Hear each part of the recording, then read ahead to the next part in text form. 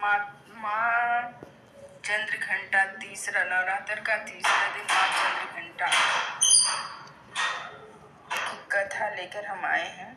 माँ पार्वती का विवाहित रूप माँ चंद्र घंटा है। भगवान शिव से विवाह के बाद देवी दुर्गा ने अर्धचंद्र धारण करना शुरू किया। माँ चंद्र घंटा के चार बाएँ हाथों में त्रिशूल, गदा, तलवार और कमल दल है, जबकि उनके चार दाहिने हाथों में कमल का फूल, तीर, धनुष और जप माला है। चैत्र नवरात्रि के तीसरे दिन माँ चंद्रघंटा की पूजा अर्चना करने का विधान है। धार्मिक मान्यता के अनुसार माँ चंद्रघंटा की विधि पूजा और व्रत करने से साधक को जीवन में अत्यधिक शक्ति की प्राप्ति होती है और माँ भक्तों से प्रसन्न होकर उन्हें शांति और समृद्धि समृद्धि प्रदान करती हैं। माँ चंद्रघंटा का स्वरूप अतुलनीय और अलौकिक है। माँ चंद्रघंटा देवी पार्वती का विवाहित रूप है। वह निर्भीकता और साहस का प्रतीक है और उन्हें चंद्रघंटा चंडिका या रण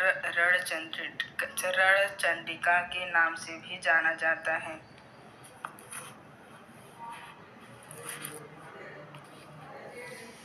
तीसरे दिन माँ चंद्रघंटा की नवरात्रि के तीसरे दिन माता की पूजा करते समय माता को दूध या दूध से बनी मिठाई और खीर का भोग लगाया जाता है। माँ को भोग लगाने के बाद दूध का दान भी किया जा सकता है और ब्राह्मण को भोजन करवाकर दक्षिणा दान में दें माता चंद्र घंटा को शहद का भोग भी लगाया जाता है। तीसरा दिन माता को दूध से बनी कुछ भी चीज़ चढ़ाएँ माता को बहुत प्रिय है।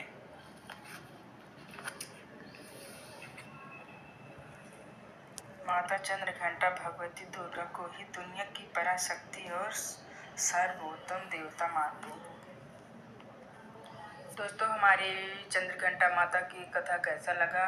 तो कमेंट करके ज़रूर बताना, लाइक तो ज़रूर करना। नेक्स्ट वीडियो में फिर मिल दोस्तों, हमारे चंद्र घंटा माता की कथा कैसे लगा आपको? कमेंट करके ज़रूर बताना लाइक शेयर सब्सक्राइब ज़रूर करना, ताकि हमारा नेक्स्ट वीडियो आप तक पहुँच सके। धन्यवाद। जय चंद्र घंटा माता की, जय।